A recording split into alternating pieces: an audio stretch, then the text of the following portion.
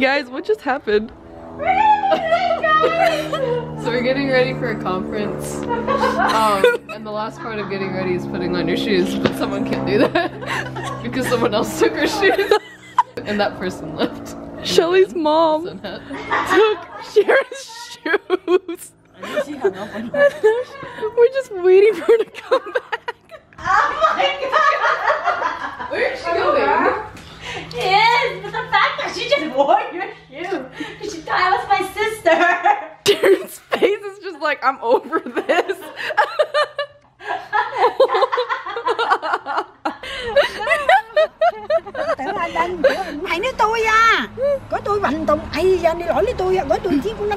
Ok I don't know. She's like sorry sorry. Sorry sorry sorry.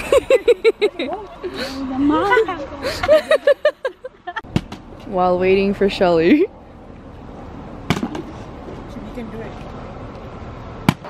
Woke up some with some good vibes. We're gonna go to the women's conference now, 9 a.m. to 12 p.m. Hopefully I can vlog a little bit, but if I can't, then just know we'll be there for three hours.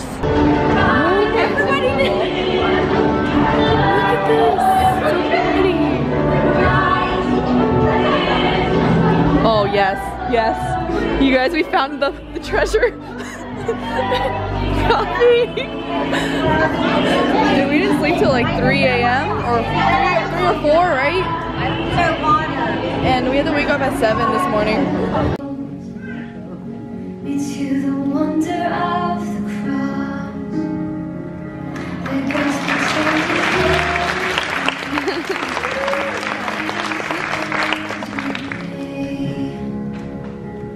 You saved my son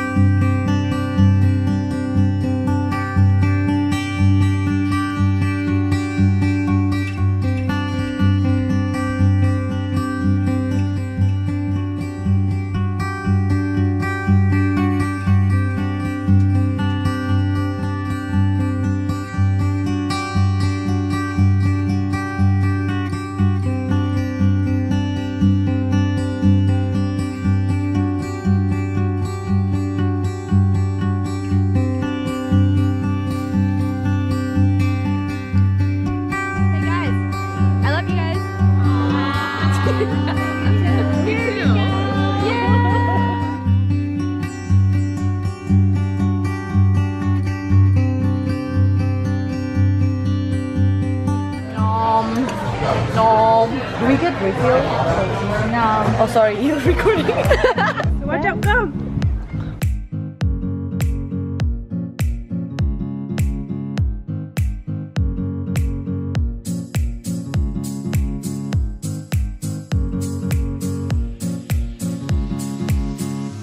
If you're wondering why we're here, it's because we're going to the library because I want to study.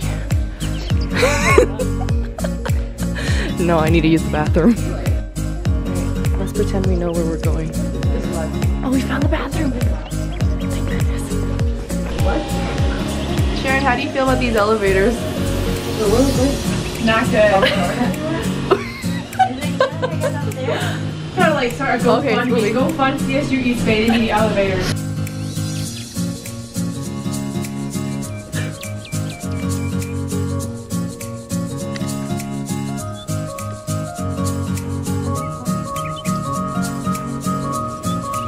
Like I said, Shelly's mom is such an OG. We came back just now, and this is on Sharon's car, and it says, no parking here, thank you, on a paper towel.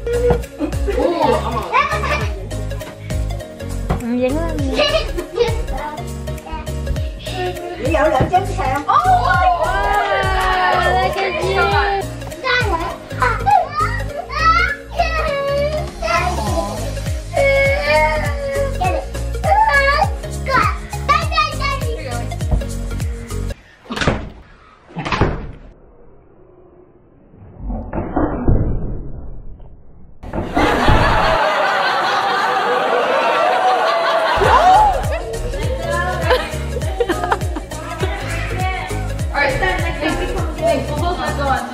One, two, three. Bye, Lynx. Bye, Sky. Bye, Aini. Yo, this is a very awkward position, but I am on my way to the gym and uh, probably just like put this somewhere here so that you guys can listen to me just talk about what I learned at the women's conference. Oh, this is so awkward. Okay, see you soon. Bye. I feel like I need that natural high, those natural endorphins you get when you exercise. So, what I learned from the women's conference was two things. One, was actually a Bible verse. It's Exodus 14:4 and it says, "The Lord your God will fight for you. You need only to be still." And I think it's so relatable right now because a lot of the times when I go through things, I tend to want to control the situation when in reality, sometimes you can't control the situation and you're just gonna have to sit back, relax, and let God do the rest because a lot of the times things aren't just out of your control and you probably can't control your situation, but you can control how you feel and you can control, um, I guess, what you do in reaction to the situation, if that makes sense. So the second thing I learned from the conference was a lot of the times we tend to think that we aren't enough or that we don't do enough to be called worthy of God's love and things like that. And oftentimes it causes a void in our hearts and we feel dissatisfied in life in general and yeah. But in reality what we don't have enough of is the awe and wonder of who God is and how big he is compared to our petty little problems. I was thinking about where God is in my current situation because I had a conversation with Shelly the other day and she was saying something about where God is in this and I was like, hmm, where is God in all of this situation? And I think that you gotta be careful what you pray for because I prayed to God for freedom to make my own choices. And because this situation happened, like now I'm free to make my own choices.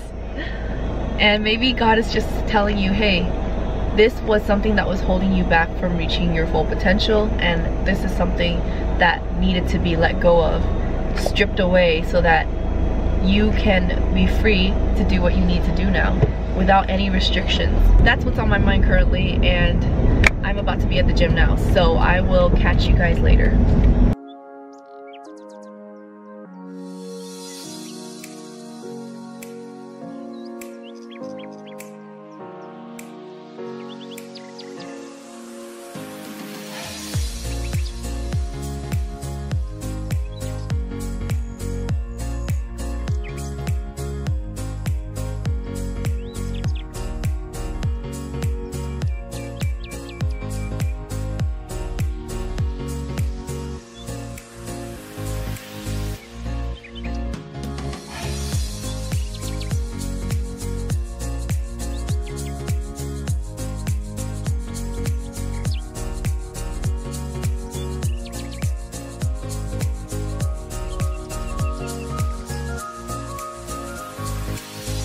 Oh my goodness, your girl be sweating hot.